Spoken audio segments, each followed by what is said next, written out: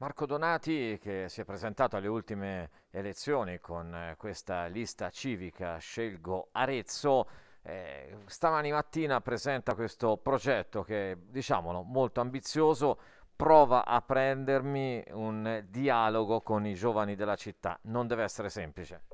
No, non deve essere semplice, ma deve essere un obiettivo a cui questa comunità deve tendere. In questi giorni abbiamo parlato di un conflitto tra alcune zone della città, un conflitto ovviamente eh, non in termini eh, pratici, ma in termini però eh, reali rispetto a alcuni, molti giovani che frequentano la parte della città legata a quella che viene chiamata cosiddetta movita e molti dei residenti.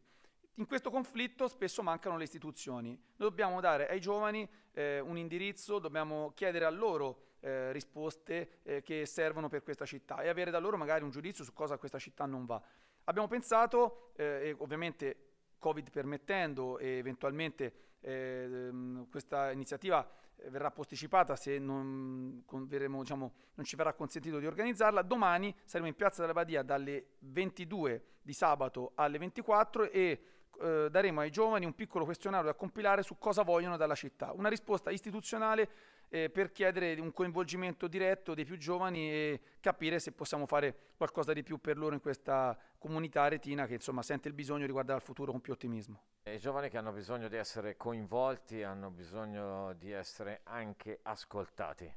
Sì, questo sicuramente è un settore, quello del, um, dei ragazzi, che um, non deve essere visto come un problema, ma sicuramente è una criticità che va affrontata ed ascoltata, va portata comunque nei giusti tavoli e noi abbiamo il dovere di ehm, porci questo obiettivo, quindi di eh, portare questo, mh, questa criticità e quindi di affrontarla. Ora sottoporremo questo questionario, sarà fondamentale anche capire cosa ne viene fuori grazie al supporto di alcuni psicologi e grazie a questo cercheremo poi di capire dove possiamo eh, arrivare con le nostre capacità. Materialmente che cosa verrà fatto?